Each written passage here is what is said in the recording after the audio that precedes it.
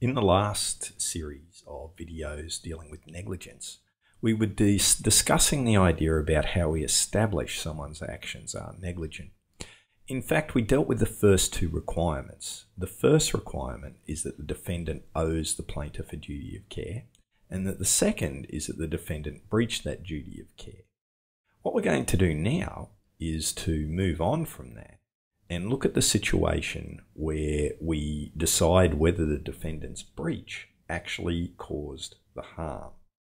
So this is called causation. Some people call it causation, and it involves two elements, factual causation and that that causation is within the scope of liability. It's, it's found, this particular test is found in Section 11 of the Civil Liability Act. So why don't we have a look at Section 11? Now, you'll remember that one of the ways to actually find the law is to just type in the particular act that I'm looking for, the Civil Liability Act of Queensland, because it's Queensland legislation, brings it up, and Section 11 is causation. So the general principles of causation are a decision that a breach of duty caused particular harm comprises the following elements the breach of duty was a necessary condition of the occurrence of the harm. Okay, so it's got to be a necessary condition, which is called factual causation. So, did the breach actually cause the harm? The second is with respect of policy, whether it's appropriate for the liability of the person to extend to this kind of breach of harm, the scope of liability. So that's the section 11.1 that contains the key test that we're interested in looking at. So just to recap, we're dealing with Section 11 of the Civil Liability Act, and the test is whether there is factual causation and whether it's appropriate for that causation to uh, be within the scope of liability of the defendant. In factual causation, what we're trying to establish is whether the defendant's carelessness caused the actual harm. That's what we're trying to do. The courts have traditionally used the but for test.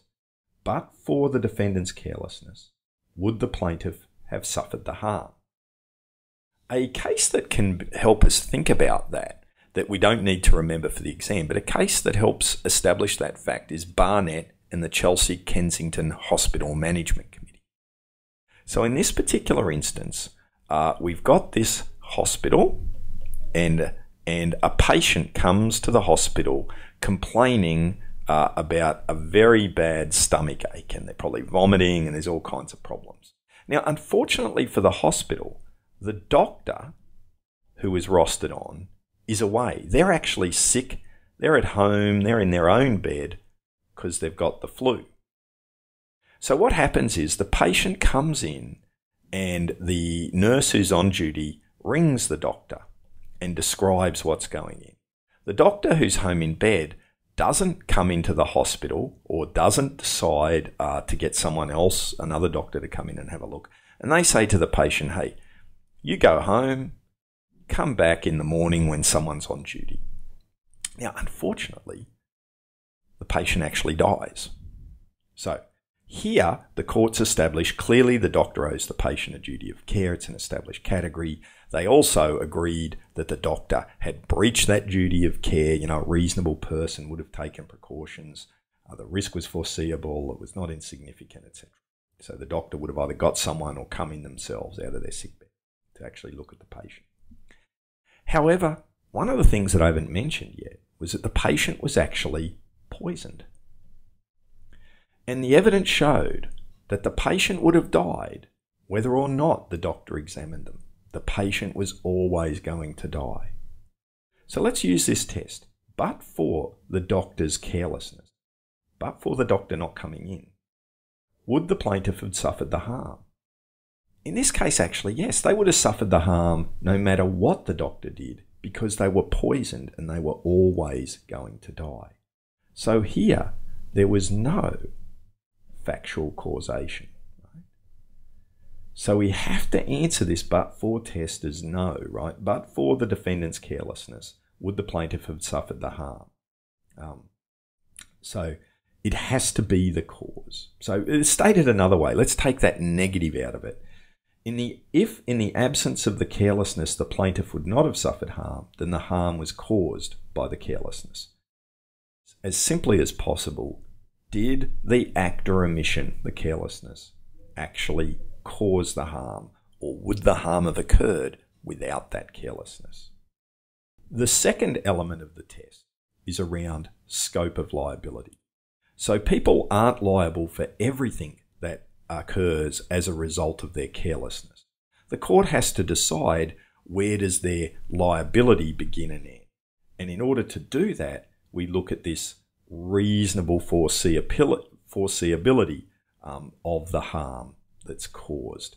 If the harm is too remote or far fetched, then it's not reasonably foreseeable and the defendant won't be liable for that harm. I'd encourage you to go back and look at our discussion of reasonable foreseeability uh, from the previous lecture or the previous vodcast around that if that's unclear to you. So, just to summarize, negligence only arises if the harm has been caused by the breach of duty. That requires factual causation and it also requires that the harm is within the scope of liability, which is the reasonable person test. Remember, our factual causation is the but for test used by the courts. If we've established that the, the defendant owed the plaintiff a duty of care, and if the defendant has breached that duty of care under Section 9, and if that breach caused the harm under Section 11, then the defendant looks like they're going to be liable for the negligence in their action. However, the defendant also has two defences that we're going to cover, two ways of combating the argument voluntary assumption of risk and contributory negligence. And we're going to move on to them in our next couple of videos.